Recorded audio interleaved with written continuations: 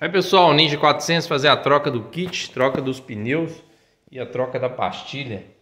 Tá desmontando a pinça ali, fazer uma lubrificação dela também, limpeza, lubrificação. Tá usando aí a CZ Chine DZX, corrente top de linha aí. Né? Essa aqui é a PAS 520 DZX. Corrente muito boa, galera. Top mesmo, tá? É, coroa e peão JT. Um kit aí top de linha, tá? Ela é prata, tá vendo? É prata e a parte interna dela é preta. Corrente bem bonita. A corrente da República Tcheca. Galera, a gente tem esse kit para vender, tá? Qualquer moto aí, se tiver precisando, entre em contato com a gente. A gente trabalhando com essa linha CZ aí. Tem a, a DZO, que é um pouco inferior a essa.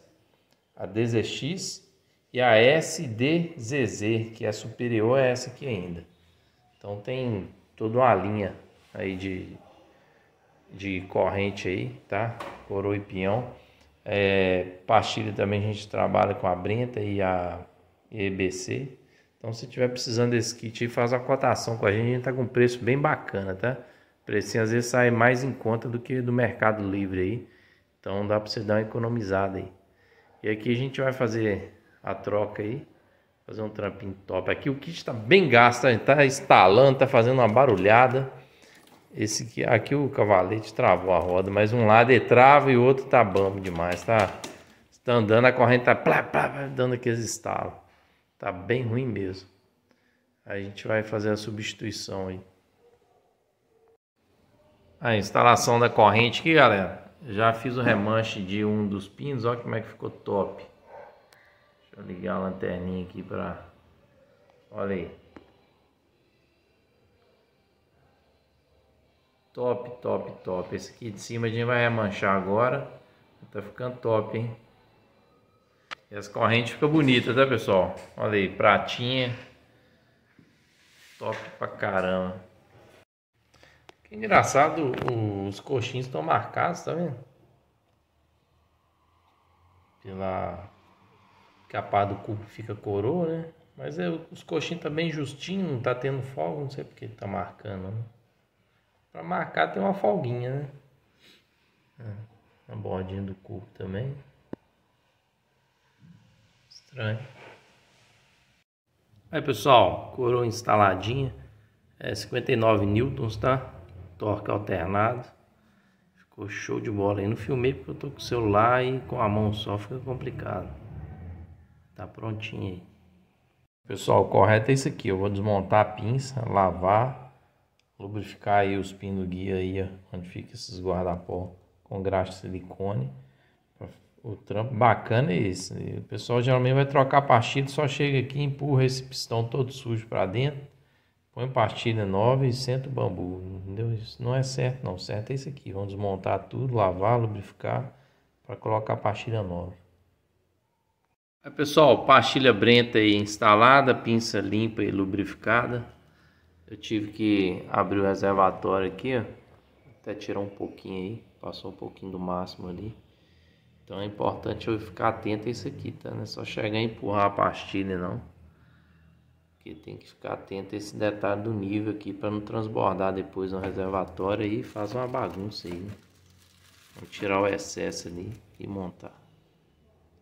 Pessoal, preferi também abrir o reservatório dianteiro para recuar a pastilha, você vê que ficou bem no máximo. Eu, eu abri porque eu não estava tendo referência aqui no visor, né? Importante também deixar bem retinho, eu tive que bambear o parafuso aqui para nivelar ele, virei o guidão um pouco, né? Travei a roda aqui, ó, com o pneu. E agora tá na posição certinha aí. Então recuei aqui o a pastilha lá, tá vendo? A pastilha nova aí, a pinça toda limpinha, lubrificada. Aí já recuei aqui, vou encaixar ela agora. E acabou que o nível ficou no máximo certinho, né? Eu preferi abrir para não correr risco de transbordar aí, depois ficar merejando óleo e danificar o reservatório aí.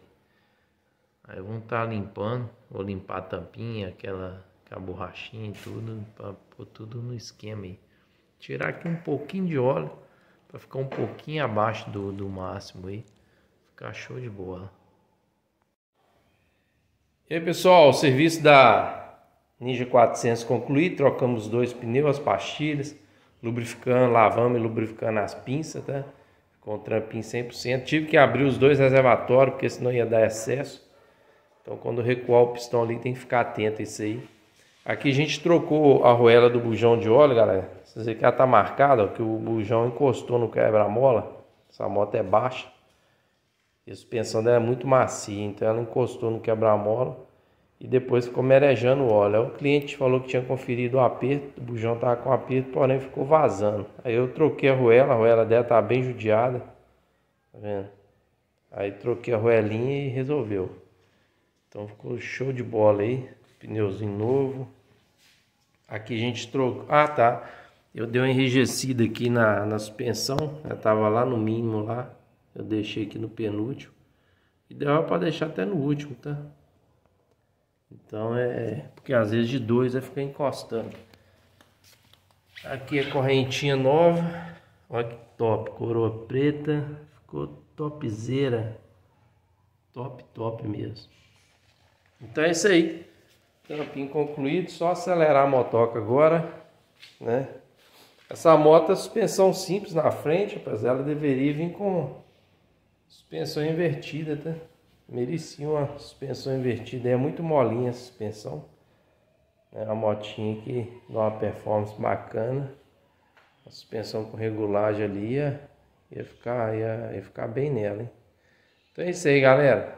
Aí o óleo eu tive que completar um pouquinho, ele estava um pouquinho baixo.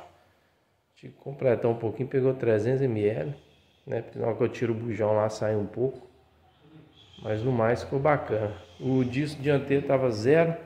O de trás, mesmo com a original, você vê que ele está um pouco riscado, né? Com as ranhuras nele. Isso que às vezes dá um desgaste mais rápido na pastilha também, né? Olha a pastilhinha como é que ficou show de bola. Pincinha toda lavada, lubrificadinha. Top, hein? Esquece não, galera. Fortalecer aí o canal. Deixa aquele likezão pra nós. Valeu.